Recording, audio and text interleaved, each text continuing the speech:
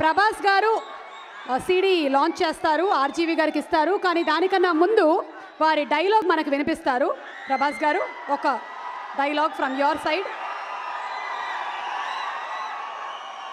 నా favourite dialogue first బుజ్జిగాడి సినిమా ముందు పూరి గారు బ్యాంకాక్లో ఉంటే వెళ్ళాను అక్కడికి. వెళ్తే ఆయన చేయి పట్టుకొని చేతి మీద ఇలా కొడితే నరం వస్తుంది. ఇలా పట్టుగా గట్టిగా లాగితే తాడొచ్చేది. లాగేసుకుందా రేటే? అని ఫస్ట్ డైలాగ్ బుజ్జిగాడిలో చెప్పారు నా favourite film okay thank you all the best to the whole team producer గారు. యా వరుణ్ కూడా వాళ్ళ బాబాయ్లా చాలా పెద్ద హీరో అవుతాడు. తొందరగా మీరు సపోర్ట్ చేయండి. మీరు సపోర్ట్ చేస్తే.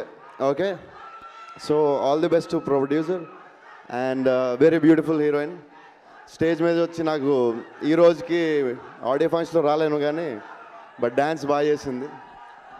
పూరి గారు నాకు చాలా ఇష్టం.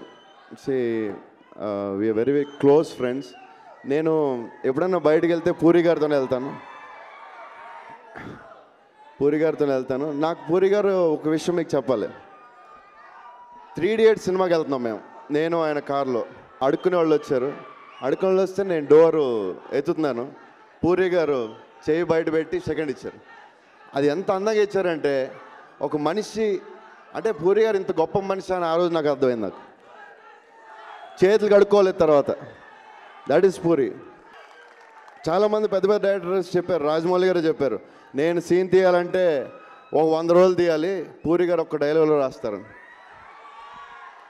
all the best to the whole team thank you